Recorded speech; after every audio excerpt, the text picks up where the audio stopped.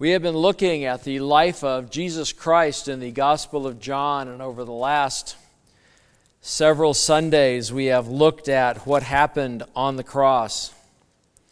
And now that the atonement has been completed, now that the new covenant is open for business, now that all of the work of forgiveness has been completed and done, uh, Jesus commended his spirit into the Father's hands, and he breathed his last because his work was done. John continues and tells us what happens in the moments following his death. If you recall that it has been dark, we don't know how widespread the darkness was, but the region is the, is the Greek word that is used. How big is a Greek region? We don't know, but it's an area. It is my guess that the people standing around the, the cross could look over the horizon and only see dark and dark and dark wherever they're at. And you have to believe that in the darkness, in the lack of light and heat from the sun, that it is getting kind of gloomy and maybe even a little cold and spooky with what is going on out there. And this is Friday, and Friday comes before Saturday. And in the Jewish calendar, the Sabbath is a weekly holy day that is celebrated with great ritual and with great fervor of obedience. And throughout the whole arrest and trial and torture and putting Jesus on the cross, the main characters that have been pushing this forward have been the chief priests. The chief priests, uh, led by the high priest of Caiaphas, have been egging the Romans on, have been telling Pilate what to do, have been the, the main instigators of moving this forward, and their belief because it is stated several times in the Gospel of John is that if they do this particular thing, for example, they don't go into the, the house of Pilate. When Jesus was taken to Pilate by the temple guards, they did not go into the house of Pilate, and it says that they didn't go in because they didn't want to be defiled for the Passover. They didn't want to be defiled for for serving God because there were, there were plans put together. And if you look at Leviticus and Deuteronomy, you will see very detailed responses that if somehow you were defiled, you had to step aside and not participate in the Passover with the, your family and with your friends. You had to do it a month later with all the other people who were defiled. And of course, the, the public humiliation that the chief priest would have felt if he would have been defiled and not allowed to lead his families, his large extended families, Passover. And perhaps he even led the Passover for all of Jerusalem. That would have been unbearable. And so they were very careful to, to, to step very gently and to not go where they're not supposed to go. And what they do after Jesus dies is, is like that is along those same lines. If you would open your Bibles to the Gospel of John, chapter 19, we're going to start in verse 31.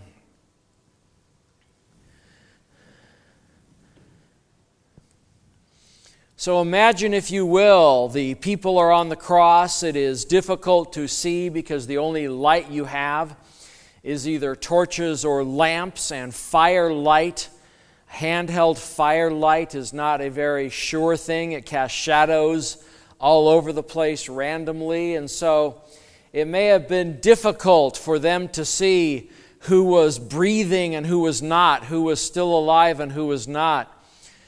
And the way the Romans liked to do crucifixions, because crucifixions were a deterrent, was to nail somebody to a cross and leave them there until they were fully decomposed, leave them there until the birds and the animals had picked the skeleton clean, and then they would go and they would remove whatever bones were left. And so this could have taken a month or more for this process to be so that everybody who walked by would, would be fully aware that this person had offended the Roman government and that they would not want to do that same crime because they would not want to end up this way.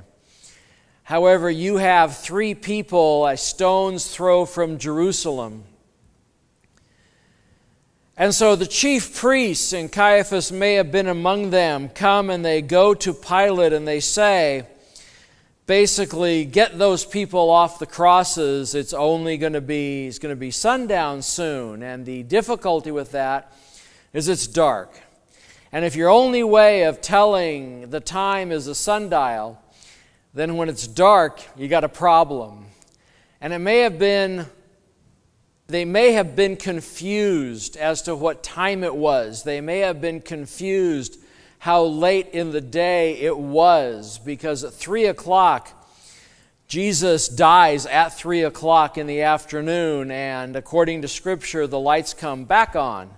The temple is torn, tombs open up, and people walk around. There's a great earthquake, and the lights come back on instantly so that people can see, and people, as they're blinking and trying to realize what has happened, I'm sure that the religious people in the group were happy that it hadn't been sundown yet, that they hadn't missed the Sabbath, that in their, in their darkness, whatever they conceived it to be, they hadn't messed up on missing the Sabbath. And so they, they run, as it were, to Pilate and say, we have to get these people off the cross. Please break their legs. And the first question is why do they have to get off the cross? Well, once again, you go back to Leviticus, you go back to Deuteronomy, and there was a punishment that if you had a, a malefactor, if you had a blaspheming person who was just anti God, who was perhaps a serial killer or a serial rapist or something that was really disrupting the town and, and had no remorse, they were totally anti God, then they could be stoned to death and then hung on a tree, uh, by the neck usually, or tied to a tree. And it says back in the Old Testament that that would be a public sign that anybody who who hangs on a tree is to be cursed. They are to be considered a total law breaker, not just one sin, but breaking all of them. And that's why the Bible is clear that Jesus takes on that, that position for us, a total law breaker. That we who have broken all the laws, all that sin is put on him, and because he was hung on a tree, it is a public declaration to God and everybody that He is taking the place of all of the law breakers, that He has broken every single law, not in Himself, but vicariously. He, we have, and we put it on Him. And so the passages in the Old Testament continue that says if you allow a person to stay on that tree past sundown, then the whole land is cursed. So everybody in the town where this person is hanging on the tree will be considered an absolute lawbreaker. And then they would have to go through the rituals to, to gain forgiveness for that. And so the, the chief priests, being, being very clear about what it is, what it takes to get God's favor, sees what's happening in the world. And what's happening in the world is that you have a whole week of preparation for Passover. Passover comes every year. It comes on the 15th of Nisan is the Jewish month. And it's like, see, our Easter bounces around, but it's always on a Sunday. Theirs is like Christmas. Christmas is always on the 25th, so it could be on Monday, Tuesday, Wednesday, Thursday, every year. Who knows? Look at a calendar, you'll figure it out. And so that Saturday, the day after what's going on, is the high day of Passover, but it's also a Sabbath. So it's like a double whammy of holiness. It's a double whammy of greatness. It's something that they really want to do good because they know God's watching, and if they do this just right, fulfill all the Sabbath laws and all the Passover laws, that God's going to see and be gracious and bless them and, and do all this kind of stuff. And so they have to get these people off the trees, off the crosses before sundown, or the whole thing's ruined. All of Jerusalem will be cursed and all of their preparation for Passover and the Sabbath will be meaningless because everybody in Jerusalem will be defiled. And so they're scampering. Uh, we can look at, at, at tables, and about this time of Passover, sundown was 6.15, 6.30, something like that. It's now 3 o'clock. They're scrambling to their uh, to their sundials. They go, okay, we got a couple, three hours. We got good. We got to get them off the cross. We got to get our lambs. We got to set everything up. We got to do this. And there's all the disruption of the Holy of Holies being exposed to the world because the temple was torn in two, and everybody can now gaze into this private place that only the high priest could go into. And so that's causing a bit of, of anxiety, if you will. There's a lot of things going on, and they want to make sure that when the sun goes down, because in the Jewish calendar, the next day starts when the sun goes down. So Passover and the Sabbath will start that evening when the sun goes down, not at midnight, not the next day. So they really only have a couple, three hours to get this all taken care of before Passover starts or they will be cursed by God, is their view. And so they go to Pilate and they say, break their legs. Now, what does break their legs do? When you're put on a cross, you are stretched out, and your body is going into a state of shock during this whole thing. It is difficult to breathe, your heart rate is erratic. Uh, as I've said before, people do this people have, we have studied crucifixions, uh, both uh, tying people to a wall with a bunch of sensors on them, and if you can go to the Philippines, they'll actually nail you to a cross. And we have observed for th- hundreds of years, at least, with recording devices, how people respond. So we know basically how these people are going to respond. It is difficult to breathe, the blood pressure is erratic, the heart rate is erratic. And if you break the legs, that puts people into a state of instant shock, instant blood loss, and blood pressure loss, and it becomes very difficult to breathe. So, in a matter of seconds, a person, when you break their legs, and the way they would do it is with a huge iron mallet, so it actually would shatter the leg bones. Uh, and so, when you put that much pressure, an already pressured body, uh, in a matter of seconds they would die. It is a way to, uh, some would say, mercifully end the, the crucifixion. You're not up there for a month being eaten away by the birds and the animals. Uh, but it's a, it's the whole crucifixion thing is a very painful way to go. And so the priests knew this, and they knew this because every seven years Passover is on a Saturday. So they knew exactly what to do. They knew every, you know, they had a system because it comes around every, you know, it moves down every day, down a week.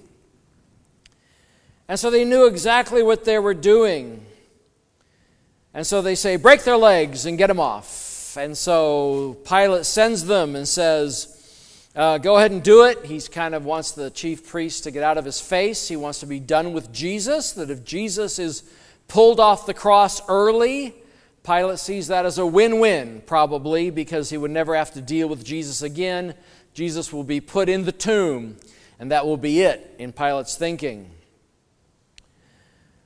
And so they go, and the, the, uh, the, the Romans get their big mallet and they go and they break the, the legs of the first thief and of the second thief. And then they get to Jesus and they notice he's already dead. And this is a, this is a surprise. And if you look in Mark 15 42, Joseph of Arimathea actually goes to Pilate in, in that book and asks for the body of Jesus, and Pilate exclaims, he's surprised, Is Jesus dead already? So Jesus may have set a record, people think, with the way that the Romans were reacting in dying so quickly. And if we look at the logic of why Jesus was on the cross, he had a set number of things to do. And we don't know how long it takes to put all that sin on him, and we don't know how long it takes to, to dump the full wrath of God on him. But apparently, it's quick enough that when he's done, he just gives his spirit to God and he dies because his work is done. His goal is not to live as long as possible on the cross. His goal is to get the atonement done and then move on. And so, in a matter of hours as opposed to days, Jesus dies on the cross, and the Pilate is surprised in Mark. The, in John, the Roman guards are a bit surprised. One of them may not have believed and sticks him in the side with a spear. And when you look at that, that was not commanded, that was not given in any way, and, and we, can, we can kind of guess at the thinking that, that here's Roman soldiers who are killing machines and Pilate said, Make sure they're dead. And if they, they take Jesus off the cross and he's just in a coma or something, then, then that Roman soldier that was supposed to break his legs is going to be in real trouble.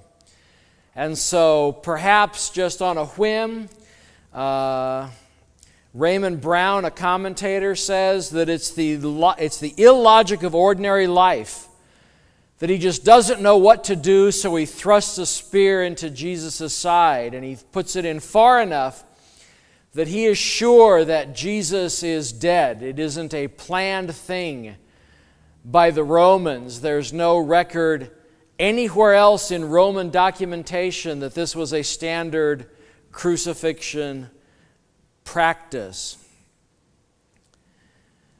And so it says that immediately or at once there came out blood and water. And many people, a bunch of people, perhaps to sell books, will come up with mystical explanations of this is what it means, of, of it's this or that. And, and medical people have looked at that and said, well, the, the, the spear must have hit this or hit that. Uh, clearly, John is saying it not in any symbolic way. He is just saying it as proof that Jesus is dead, and there's no documentation, extra biblical or not, about how the Jews tested for death. Uh, we don't know if this was a normal practice that when somebody died by being uh, cut, for example, they would consider the death to be complete when water and blood came out. Uh, it's probably not water, but probably some clear bodily fluid, but John doesn't know nothing. And so he's just writing that this is Jesus who is dead. When John was writing this, there was a group of people called the Gnostics who were coming into being, and they're still around today. You can go to Santa Cruz and, and, visit a Gnostic bookstore, and they meet there, actually. I don't know what they do. But the Gnostics are all about secret, hidden knowledge, and their view is that physical things, things you can touch, are evil, things that are spiritual are good. And so, in one Gnostic writing, it says that Jesus was a spirit that Jesus could not have been a physical man because if he was a physical man, he would have been evil. That would have made God evil, and you can't have that. So their logic is that Jesus was a spirit. And John may be saying, neener, neener, neener to the Gnostics, saying, Look, it's a physical. Actual physical fluids are coming out of this. It's a physical guy with physical stuff. And he's really physically dead. And that is John's point, is that death has occurred, and that is vitally important for the chapters that follow when Jesus is resurrected. If Jesus only passed out or swooned or was in a coma, then the resurrection has no power to it. But if Jesus is absolutely dead, and we know that the cut or the stab in his side was deep enough for Thomas to actually put his hand in it and to prove that Jesus was who Jesus said. And so it went in far and it was a gash, and Jesus is dead. Jesus did not respond. He didn't say, ouch. He didn't wince. He is dead. His body is dead. And then John starts his, his conclusion to the crucifixion. And his conclusion of the crucifixion says, He who saw it has borne witness. His testimony is true, and he knows that he is telling the truth, that you also may believe. John has this practice, whether it be humility or, or whatever it is, to speak about himself in the third person. He never says I, he never says John. He always refers to himself by some other means. And in this way, he is saying, uh, he and his and he, referring to himself. John was there at the foot of the cross throughout the whole thing, throughout the darkness, throughout the lights coming on, seeing the scrambling of the Jewish leaders. And he was there when the spear was thrust into the side of Jesus. And he says that he bears witness that his testimony is true and that he knows that he is telling the truth. And he is using language that fits with the Old Testament witness deciding thing. Back in the Old Testament, if somebody was accused, you had to have two witnesses that said the same thing. They tried that with Jesus, and no witnesses could agree. And it is so important to the Jewish law that God put it in the Ten Commandments that you shall not bear false witness. That is much more specific than just lying. You are not supposed to lie according to Scripture. But it's a big thing if you, in an official capacity, bear a false witness, lie to get somebody uh, uh, accused, somebody to be convicted, and to be punished in that way. And so John is giving a three time statement about he saw it and it's true and it's true. And he says it for one purpose only that you will believe. And at this point in time, all he wants you to believe is that Jesus Christ has died, that Jesus Christ has taken your sins and put his blood over them, and he has died. At this point in time, salvation has been secured for those who believe. And he wants people to believe that. He wants people to believe in this person, Jesus Christ, who died for our sins. And then to, to wrap it all up, John gives two more scriptures to be fulfilled. John, more than any other gospel writer, says that Jesus fulfilled this scripture and that scripture. And even in Jesus' death, when Jesus is totally passive related to what's going on, Jesus could not have caused this, but God did. There are two scriptures, and we read uh, in Exodus about how the Passover lamb is put together. It is believed that John is actually quoting Psalm 34 20 which says he keeps all his bones, not one of them is broken. And if you read all of Psalms 34, David is talking about a righteous man who serves God.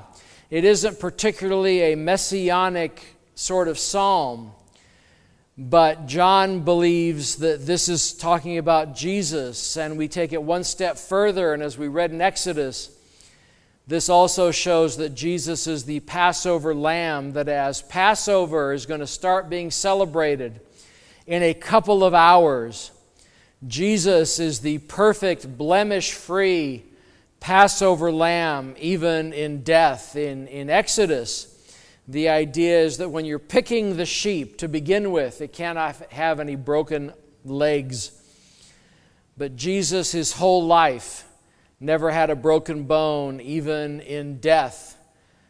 And God controlled the situation with his absolute sovereignty to take Jesus before the chief priests got antsy and before the Romans got aggressive and started breaking legs. And he put in the mind of the Roman soldier that it would be pointless or useless to break Jesus' legs, I'm sure.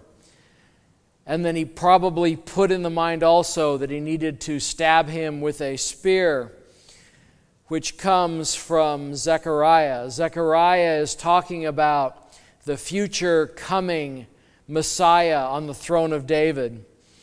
That the throne of David is in disarray at the time of Zechariah, and Zechariah is looking forward, saying, There will come a time where God will pour out his Spirit on his Messiah, and we will look at the one who is pierced. And you may just kind of look over that, wondering what it means, except we know that John is on the ball and John figured it out. And so John puts that in his gospel, saying clearly, this is a sign, this is evidence that Jesus is the one that Zechariah is talking about. That when Zechariah talks about the one who is pierced is, is Messiah, clearly he's connecting the dots and saying, that is Jesus. And so, to put it all together, you have two types of people in this story.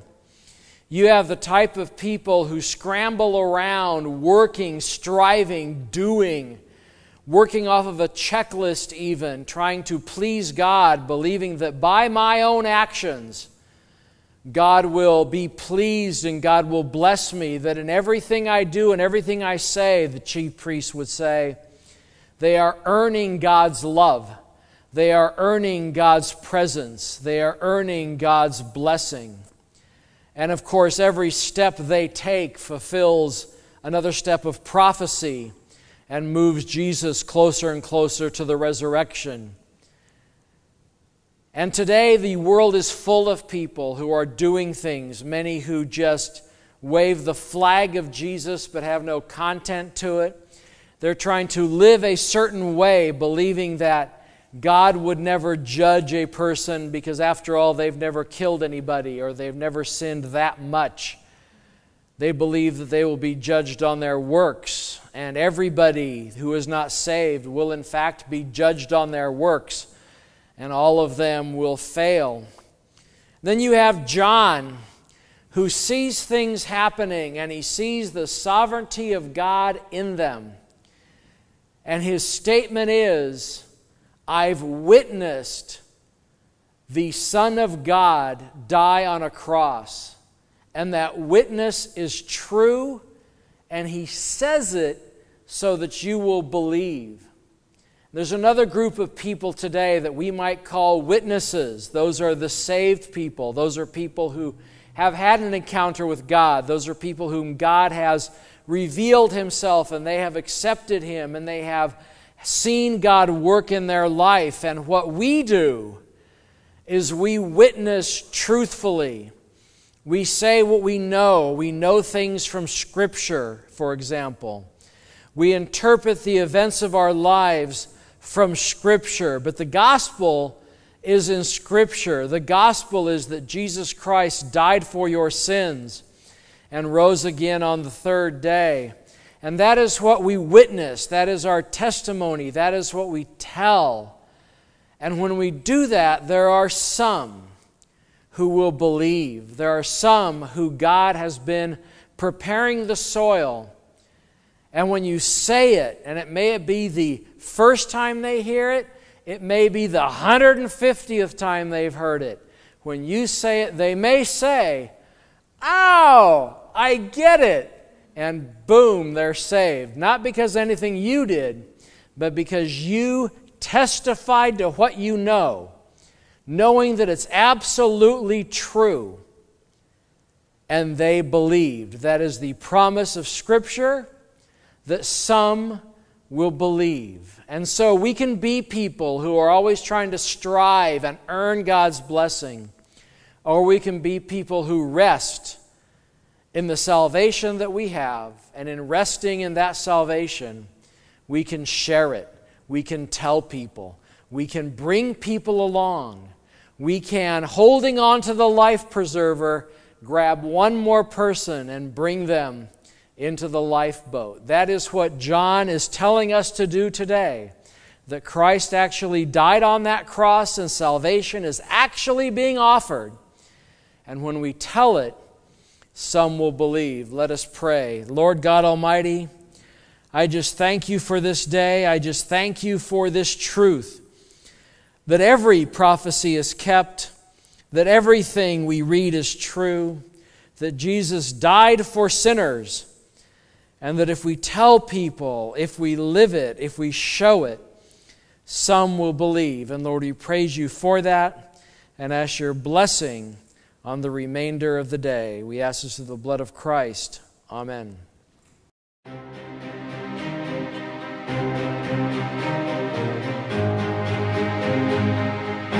Música